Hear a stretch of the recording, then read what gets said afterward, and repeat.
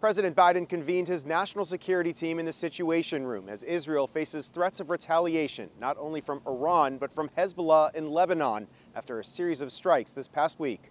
The recent escalation began on July 27th when a rocket attack hit Israel's Golan Heights, killing 12 children. Israel blaming this attack on the Iran backed militant group Hezbollah, based out of Lebanon. Three days later, on July 30th, Israel responded, launching a strike in Beirut, which killed Hezbollah's most senior military commander. Then, another strike on July 31st in Iran's capital city of Tehran. Hamas's political leader, Ismail Haniyeh, was killed in what Hamas called a grave escalation.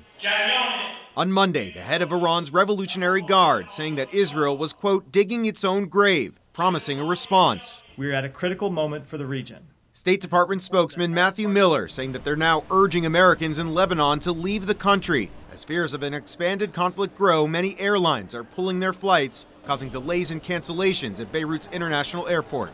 Escalation is in no one's interest. It's not in the interest of any one country, it's not in the interest of the region, and it's certainly not in the interest of the millions of civilians who just want to live their lives free from violence and conflict. But as they push for diplomacy, the U.S. is also boosting its military presence. The Department of Defense sending additional forces to the region over the weekend. President Biden also spoke on the phone with the King of Jordan on Monday. Over the weekend, Jordan's top diplomat was sent on a rare trip to Iran, the first in 20 years, as they try and keep this crisis from spiraling out of control. Reporting here at the White House, this is Evan Koslof, Spectrum News.